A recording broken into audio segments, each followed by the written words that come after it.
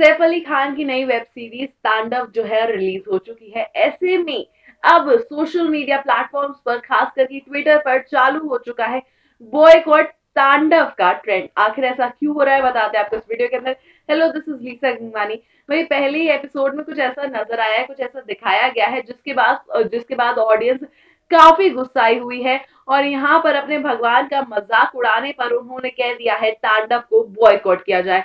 यहाँ पर हम आपको बता दें, इस सीरीज़ में कौन कौन नज़र आ रहा है तो सीरीज़ में नज़र आ रहे हैं, सैफ अली खान।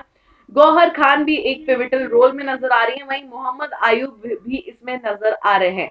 ऐसे में यहाँ पर जो है इस सीरीज़ के स्टार्ट में ही राम जी और शिव जी को लेकर काफ़ी मज़ाक बनाए गए हैं, जिसको लेकर ऑडियंस में काफ़ी गुस्सा है और यहाँ पर हिंदू फोबिया फैलाने के इल्ज़ाम में किया जा रहा है तांडव को बॉयकॉट वैसे में कल रात ट्विटर पर भी चल रहा था इसको लेकर एक ट्रेंड बॉयकॉट ता, तांडव करके ये ट्रेंड जो था इसमें ऑडियंसेस अपना गुस्सा ज़ाहिर कर रही थी कि किस तरीके से हमेशा किसी ना किसी तरीके से किया जाता है हिंदू रिलीजन को टारगेट अब ऐसे में क्या होगा? तांडव का फेट देखने वाली बात रहेगी।